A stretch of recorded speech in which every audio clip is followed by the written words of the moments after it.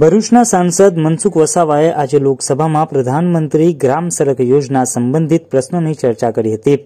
ભરૂચના સાંસદ મનસુખભાઈ વસાવાએ આજે લોકસભામાં પ્રશ્નોત્તરી દરમિયાન પ્રધાનમંત્રી ગ્રામ સડક યોજના સંબંધિત પ્રશ્નો ઉઠાવ્યા હતા.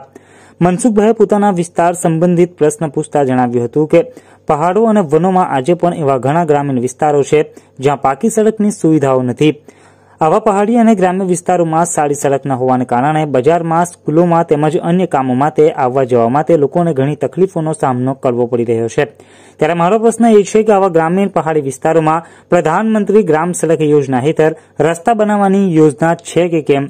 સાંસદ મનસુખભાઈ વસાવાના પ્રશ્નનો જવાબ ગ્રામ્ય વિકાસ મંત્રી સાધ્વી નિરંજન જ્યોતિએ આપતા જણાવ્યું હતું કે, યોજના તો છે જ, પણ આ યોજનાની વિશેષતા એ છે કે મેદાની ક્ષેત્રમાં પાંચસોની વસ્તી ડુંગરાળ વિસ્તારમાં બસો પચાસની વસ્તી અને જેમ નક્સલ પ્રભાવિત ક્ષેત્ર છે, ત્યાં સોની વસ્તી હોય એવા વિસ્તારમાં પ્રધાનમંત્રી ગ્રામ સડક યોજના હેઠળ સડક બનાવવાની યોજના મંજૂર કરવામાં આવે છે.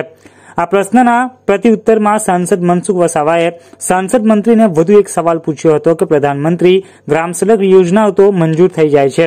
તે પણ કોઈ કારણસર તે સમય મર્યાદામાં પૂરી થતી નથી. ત્યારે મારો એવો સુઝાવ છે કે આ પ્રક્રિયામાં સાંસદ સભ્યોને પણ સામેલ કરવા જોઈએ.